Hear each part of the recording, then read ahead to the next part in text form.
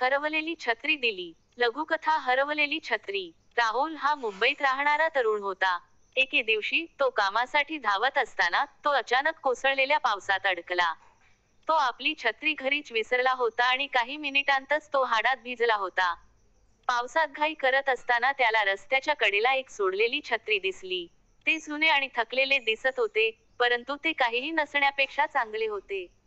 राहुलने तो उचलला आणि त्याच्या वाटेला निघाला. पाऊस सतत पडत होता आणि राहुलच्या लक्षात आले की छत्री त्याला कोरडी ठेवण्याचे फार चांगले काम करत नाही. खरं तर तो क्षणाक्षणाला भिजत होता. त्याने वर पाहिले आणि लक्षात आले की छत्रीला अनेक छिद्रे आहेत आणि फॅब्रिक जागोजागी फाटलेले आहे. निराश होऊन राहुलने छत्री फेकून देऊन नवीन खरेदी करण्याचा निर्णय घेतला. पण तो डब्यात टाकणार इतक्या त्याला एक तरुण मुलगा पावसात थथरत होता. मुलगा आठ वर्षांपेक्षा मोठा दिसत नव्हता आणि तो डोक्यापासून पायापर्यंत भिजला होता. राहुलचे मन त्या मुलाकडे गेले आणि त्याने त्याला छत्री देण्याचे ठरवले. येथे तो म्हणाला माझ्यापेक्षा तुला याची जास्त गरज आहे. आश्चर्याने आणि कृतज्ञतेने मुलाचे डोळे विस्फारले. त्याने छत्री घेतली आणि राहुलचे मनापासून आभार मानले. मी इथे माझ्या आईची वाट पाहत होतो तो म्हणाला.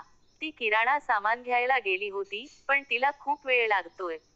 राहुल त्या मुलासोबत जवळच्या झाडाच्या आश्रयाने थांबला.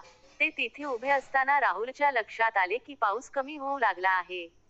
लवकरच ढगांमधून सूर्य डोकावू लागला आणि आकाशात केशरी रंगाची चमकदार सावली झाली. थोड्या वेळाने मुलाची आई आली आणि तिने राहुलचे आभार मानले. देव तुम्हाला आशीर्वाद देईल ती म्हणाली. ती आणि तिचा मुलगा छत्रीखाली निघून गेला. त्यांना जाताना राहुलच्या मनात एक उबदार चमक जाणवली. त्याला जाणवले की छत्री कदाचित जुनी आणि जीर्ण झाली असेल पण त्या दिवशी तिचा एक मोठा उद्देश पूर्ण झाला होता. ज्याला त्याची त्याच्यापेक्षा जास्त गरज आहे अशा व्यक्तीसाठी तो सांत्वनाचा क्षण आणला होता.